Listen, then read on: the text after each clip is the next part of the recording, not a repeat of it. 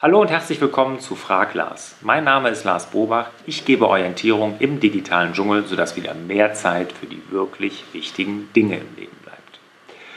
Und wo wir schon von wichtigen Dingen sprechen, da gehen wir heute mal in was richtig Wichtiges ein, und zwar die, die Apple Entwicklerkonferenz, die WWDC.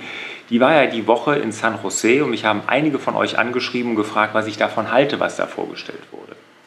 Es sind ja wirklich einige interessante Sachen vorgestellt worden. Da will ich gar nicht darauf eingehen, was es Neues gibt für die Apple Watch oder diese, dieser Lautsprecher, den Apple daraus gemacht hat, sondern wirklich reingehen in das neue iPad und iOS 11, was das mit dem neuen iPad macht. Und da muss ich sagen, bin ich erstmal vorab super begeistert, was Apple da rausbringt und wohin sich iOS mit dem neuen iPad entwickelt. Also wirklich hin, wirklich zum absoluten Laptop-Ersatz. Ja, fangen wir mal damit an, was äh, das iPad neu hat, das neue iPad Pro. Das ist halt ein viel schnellerer Prozessor, eine höhere Frequenz, wie Bild, der Bildschirm dargestellt wird. Und die, die das testen konnten, da habe ich schon einiges drüber gelesen, sagen, das gibt nochmal ein ganz anderes Gefühl beim draufschreiben. Es ist ohne jegliches Lag oder Latency nennen die das und so dass es wirklich ohne Verzögerung und es wäre noch mal viel viel besser vom Gefühl. Ich bin mal sehr gespannt, freue mich total drauf und ja, natürlich, klar, ich habe ein iPad Pro bestellt. Diesmal aber das kleine. Ich wollte noch mal wieder ein bisschen kleiner werden. es ist ja jetzt nicht so klein wie das, was davor gab, 9,7, sondern ist jetzt 10,5 Zoll, also ein bisschen größer. Und ich hatte ja immer noch zwei. Ich habe meinen 12,9 Zoll so für die Arbeit gehabt und zu Hause, wenn ich am Sofa so gesurft habe und so, dann meistens mein altes 9,7, mein iPad Air noch genommen. Jetzt das 10,5, vielleicht ist das ja so da mit in der Mitte irgendwas, sodass das funktioniert. Ich werde es auf jeden Fall in den nächsten Tagen bekommen und dann hier auch berichten, wie es mir gefällt. Ja, das ist aber nur die Hardware. Und das eigentlich Tolle war an dieser Keynote, dass iOS 11 vorgestellt wurde. Und da ist mit iOS 11 und dem iPad passiert wirklich wahnsinnig viel. Also das iPad entwickelt sich richtig hin zu einem wirklichen Laptop-Ersatz. Das geht damit los, dass wir unten dieses Dock haben. Ja, dieses Dock, was wirklich ähnlich wie bei macOS ist, ne, wo ich dann das jederzeit einblenden kann, zwischen den Apps hin und her switchen kann. Ich kann auch aus dem Dock heraus neue Apps im Split View und so starten.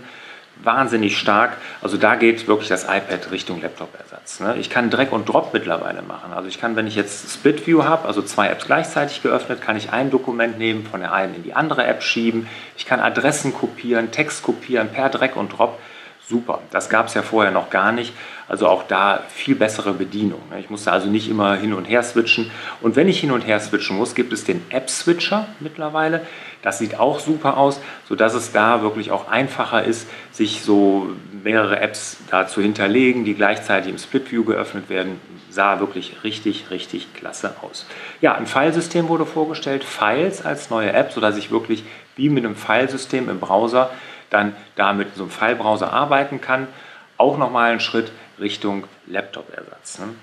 Ja, und dann geht es halt mit, mit iOS 11 weiter und dem Apple Pencil und da muss ich sagen, bin ich super begeistert. Das ist also komplett in das Betriebssystem integriert. Ne? Ich kann, egal wo ich bin, mit dem Apple Pencil reinschreiben. Ja, ich kann in Webseiten, ne, kann die als PDF generieren und sofort reinskribbeln.